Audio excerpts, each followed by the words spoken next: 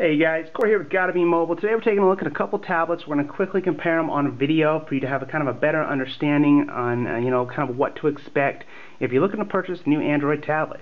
So what we have is a LG G Pad 8.3 versus a Samsung Galaxy Tab Pro 8.4. So you can see they're both, you know, not 10, they're not 7 inches, they're kind of an in the middle 8.4, 8.3.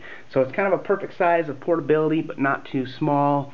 And I mean, as you can see, they're both very similar in size. They both have the very thin, sleek bezels on tops and, of course, the sides.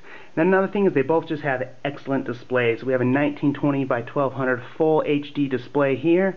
But then on Samsung, they've really stepped up. The Galaxy Tab Pro 8.4 has a 2560 by 1440 uh, you know, QHD, just almost 2K resolution, and it looks it looks gorgeous. It really does. It's a great display. It looks awesome.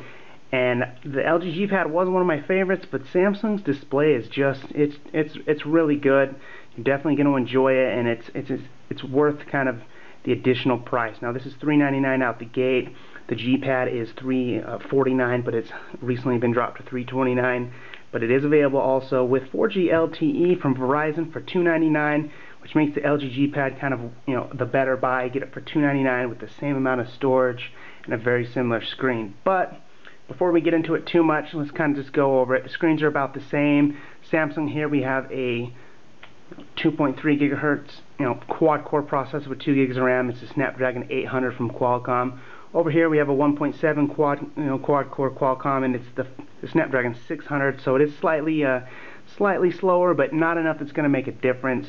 We have 2 gigs of RAM in both, 16 gigabytes of storage in both, beautiful HD displays. I mean, they both have stereo speakers on the bottom, quality front and rear facing cameras. So there's really a lot going for both LG G Pad 8.3 and the Samsung Galaxy Tab Pro 8.4.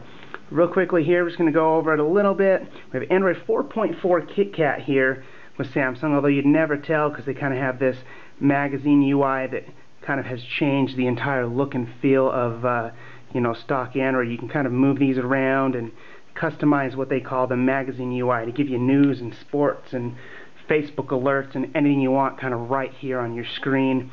And then I added this Google bar here because for the most part you can't really tell it runs Android unless you get into kind of some of the settings. There's this tiny little Google bar down here and that is it. So that you can't move that around You can't add Google Now to it, but I mean obviously Google Now is kind of built in with search for those that want it. But once you slide in here, you'll notice some of the major changes here from Samsung. There's, you know, the usual Bluetooth and Wi-Fi information and a couple settings as you scroll through, but everything's kind of divided by tabs up top, which is something Samsung's done as of late. When you go into something like LG, you'll notice that theirs is kind of a more standard layout for Samsung or for Android. But the only problem here with LG versus Samsung is we're on Android 4.2 Jelly Bean here versus 4.4. Now this was released with 4.2 right before KitKat came out. So I mean they could have had 4.3 but I mean it's got it definitely needs an update. One should be coming.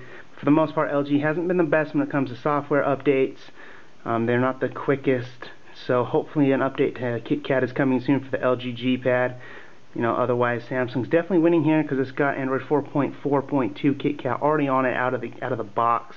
So definitely a nice change of pace. You also see the you know on-screen buttons versus the dedicated menu button and our dedicated home button, and then you have some multitasking here like we're used to with Android, but kind of Samsung's changed that. Push and hold that over here to kind of access the same menu.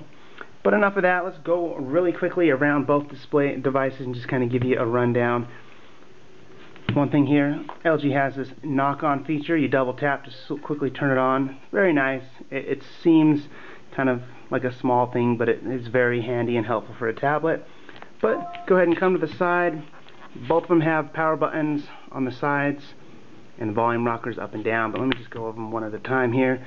We have power, volume up and down. As you come over here to the bottom side, 3.5 millimeter headphone jack up top. We have a micro SD slot for expanding storage, and then an infrared port for a remote control. And then there is a 5 megapixel camera on the rear, dual stereo speakers and then that micro uh, you know USB for charging but it's got a nice aluminum feel it's it's a fingerprint magnet but it feels great in the hands there is some some kind of plastic on the top and bottom and you know plastic on the sides that might make it a little easier to hold so you don't feel like you're going to drop your all aluminum tablet then you come over here to Samsung and we have that faux leather like plastic wannabe leather design from the Galaxy uh, Note 3. We have an 8 megapixel camera and a 2 megapixel front facing camera. And then uh, we also have this micro SD slot here. Have the 3.5 millimeter headphone jack. We rip around to the other side. We have the power volume up and down and then an infrared port as well. So both of these can double as a remote control for your television. Then down here we have the stereo speakers as well and the charging port.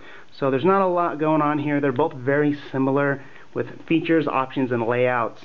The only thing when, when it kind of breaks down is Samsung's got a slightly better display, it's got a faster processor and a better camera, and the latest version of Android.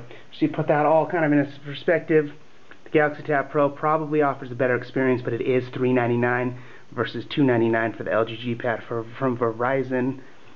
But just a quick look here, at both of these tablets, they're both, you know, very good competitors for the Nexus 7 and awesome tablets in that kind of mid, you know, mid-size, not too big, not too small. LG G Pad 8.3 versus the Samsung Galaxy Tab Pro 8.4. That's it, guys. Thanks for watching.